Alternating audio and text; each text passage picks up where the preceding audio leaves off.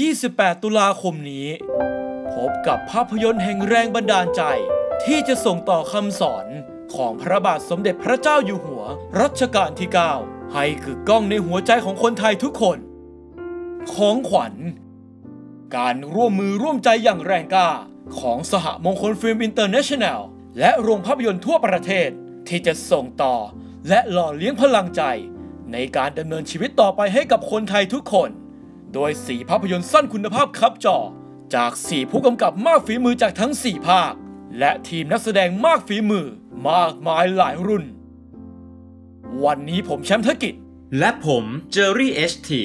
จะพาทุกคนทำความรู้จักกับ 4 ภาพยนตร์สั้น ที่เราอยากให้คุณทุกคน ได้มาสัมผัสถึงความดีที่ยิ่งใหญ่กันครับ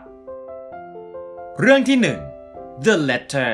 ผลงานจากปรัชญาปิ่นแก้ว ผู้กำกับสายบู๊ชาวอีสาน เจ้าของผลงานอย่าง องค์บากและต้มยำกุ้ง ที่ลองเปลี่ยนแนว มาเล่าเรื่องราวการผจญภัยอันล้ำค่า ของเด็กน้อยบ้านไกล ที่อยากจะส่งจดหมายถึงพ่ออันเป็นที่รักยิ่ง ผู้ที่เขาไม่รู้ว่าอยู่ที่ใด การติดตามจดหมายไปจนกว่าจะพบปลายทาง จึงได้เกิดขึ้น สิ่งที่พระองค์ท่านสอน ว่างานที่พระองค์ท่านทำไว้เนี่ยเป็นแรงบันดาลใจในการที่เดินในข้างหน้า เรื่องที่สองดอกไม้ในกองขยะ ผลงานจากนนทรีนิมิบุตร ผู้กำกับจากภาคกลาง เจ้าของภาพยนตร์คุณภาพอย่าง 2499 อันธพาลคลองเมือง นางนาคมาบอกเล่าเรื่องราวของอาชีพที่หลายคนมองข้ามอย่าง คนเก็บขยะ ผู้รับผิดชอบจัดการของที่ทุกคนทิ้ง และรักษาความสะอาดให้กับบ้านเมือง ภาพยนตร์สั้นเรื่องนี้จะทำให้ทุกคนได้เห็นว่า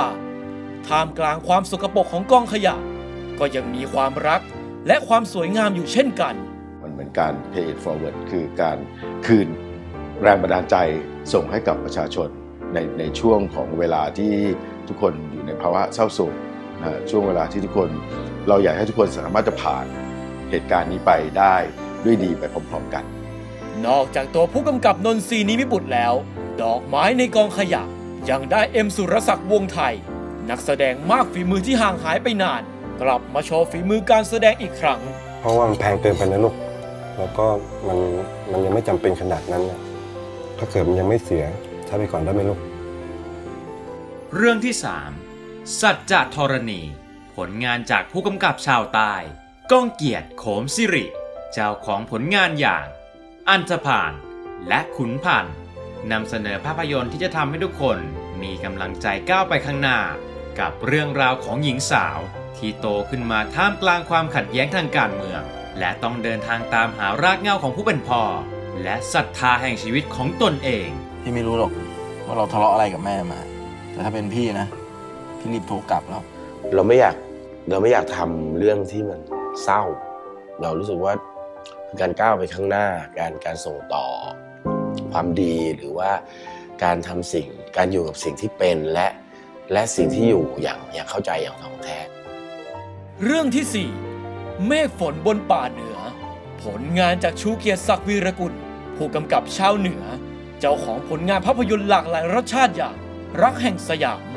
13 เกมสยอง และเกรียนฟิคชั่นนำทีมนักแสดงวัยรุ่นฝีมือดีอย่างอุ้มอิษยา เฟมชวินโรจน์และโอบนิธิ มารับบทเป็นกลุ่มนักศึกษาไฟแรง ที่ต้องเผชิญหน้ากับความขัดแย้งของชาวบ้านในพื้นที่ ระหว่างที่พวกเขาไปออกค่ายปลูกป่า ด้วยเหตุนี้เองกลุ่มเด็กผู้เปี่ยมด้วยอุดมการณ์จึงได้พบกับบทพิสูจน์ทางใจของตนเอง เราทำเรื่องนี้ด้วยด้วยใจจริง ๆ แล้วพอได้ทำได้ไปรีเสิร์ชก็เข้าใจสิ่งแก่นที่เราทำมากขึ้น ในสิ่งที่ท่านเคยสอนเราในฐานะที่เป็นเป็นพ่อของคนทั้งแผ่นดิน นอกจากสี่ภาพยนตร์สั้นเปี่ยมแรงบันดาลใจแล้ว ของขวัญยังมาพร้อมกับ Pass the Love Forward บทเพลงส่งต่อความรักจากคุณบอยโกศิยพงศ์ที่นำก้าวศิลปินคุณภาพมาร่วมกันขับร้องครับ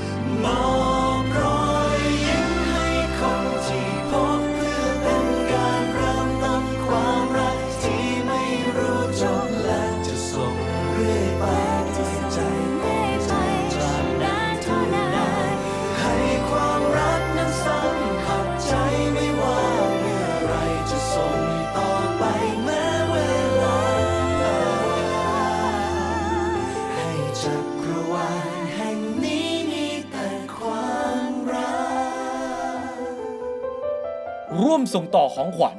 ให้กับคนที่รักพ่อ เพื่อเป็นพลังและแรงขับเคลื่อนชีวิตต่อไป กับภาพยนตร์ที่สร้างจากหนึ่งแรงบันดาลใจ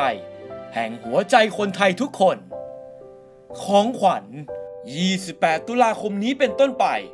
รับบัตรชมฟรีไม่มีค่าใช้จ่ายวันต่อวัน ได้ที่หน้าโรงภาพยนตร์ทั่วประเทศ